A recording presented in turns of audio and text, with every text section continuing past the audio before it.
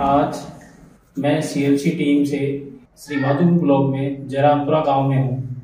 मेरे साथ बिटिया, पूजा, किसनावा, उनके फादर, जयवीर जी किसनावा, जो अजमेर अध्यापक हैं, पदस्थापित हैं, उनके दादाजी बनवार लाल जी हमारे साथ हैं, और और भी इनके पेरेंट्स चाचा ताऊ हमारे साथ हैं। बिटिया का सिलेक्शन 2021 में सीएलसी से हुआ है।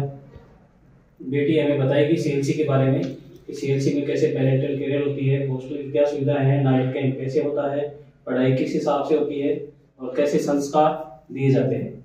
बेटा बताएँ आप हमें सीएलसी के बारे में। सर मैंने सी में 2020 में एडमिशन लिया था। सर 2021 में सर मेरा सिलेक्शन हो गया था। हाँ सर आ, सर वहाँ के टीचर्स बहुत अच्छे नोट्स प्रोवाइड करते हैं। शॉर्ट एंड सिंपल अच्छा इन्वायरमेंट है सर। और नोट्स पढ़ने में बहुत इजी होता है, अच्छे से समझ में आते हैं सर। और सर, वहाँ इवनिंग में eight to twelve study camp लगते हैं सर, वो बहुत बढ़िया होते हैं। स्टडी कैंप लगते हैं सर। और सर, वहाँ बहुत अच्छे से पढ़ाई होती है बहुत शांत वातावरण है सर। सर इवनिंग में वहाँ सिक्स टू सेवन से असेंबली होती है, वहाँ पे हनुमान चालीसा का पाठ पढ़ाया जाता है। तो वहाँ अच्छे संस्कार प्रोवाइड किए जाते हैं, मन शांत होता है। और एक अच्छा इंसान भी बनाया जाता है सर।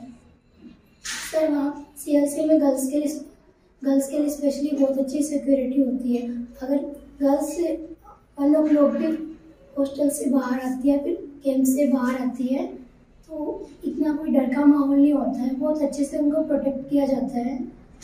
आ, हमारे बॉस बहुत अच्छे से ध्यान रखते हैं बहुत अच्छे से केयर करते हैं। अभी कहाँ हो बेटा? सर मैं रायचूर डिस्ट्रिक्ट कर्नाटका में एम कर रही हूँ रिम्स कॉलेज में। पूजा के पापा अध्यापक हैं। आप हमारे साथ हैं। आप भी सर सीएलसी के अनुभव बताइए आप सीएलसी जिंदाबाद। सर जब मैं बच्चे के बारे में विचार करा था भाई कि अपन को एम करानी है तो सबसे पहले नाम सीएलसी आया था। और मैंने सीएलसी चूज़ किया दो हज़ार बीस में। काफ़ी लोगों ने बताया था राय दी सलाह दी थी कि वहाँ पर अच्छी टीम है, अच्छी फैकल्टी है, और सीएलसी का नाम बहुत बढ़िया है। जो अदर कोचिंग है, उनसे बेस्ट है।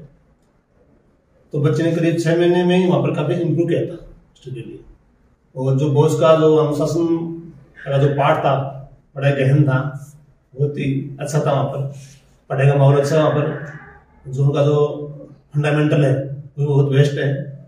कुल मिला के सेल्स बेस्ट है। वहाँ से जो बच्चे निकलते हैं काफ़ी सक्सेसफुल होते हैं। और मेरे बच्चे का भी दो हज़ार इक्कीस में सिलेक्शन हो गया था तो सेल्स ही देन देन है। जय सेल्स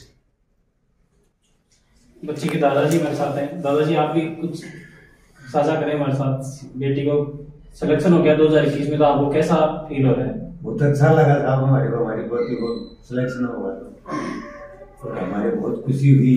इन्होंने बच्चे ने बोला सी एच में एडमिशन करवा दिया। तो हमें बहुत खुशी हुई भाई। बढ़िया संस्था है और बच्चे कुछ उन्नति करेंगे वहाँ पढ़ेंगे तो इसका सिलेक्शन हो गया हमारे बहुत खुशी हो गई। जो बेटा छोटे बच्चे हैं उनको आप सीएलसी के बारे में क्या राय देंगे? सर अगर जी आप नीट की तैयारी करना चाहते हैं तो मैं सेल्स से उनको बड़े ऑप्शन बताऊँगी थैंक यू